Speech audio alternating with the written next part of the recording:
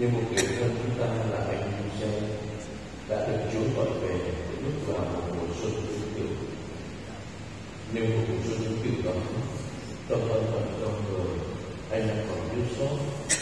Chính vì vậy con thân thể hôm nay cuối cùng của anh lời nối đến điều tình yêu này từ chúng ta cùng với gia đình Đan Quyên phải dùng nhân những hy sinh, cầu nguyện và cái lễ misa này để còn thiếu sót gì gì đó với tâm hồn, con người của anh. Xin Chúa Xuân chúng cửu đón anh vào lúc chúng ta và anh luôn tin nhận điều đó cần con lễ chúng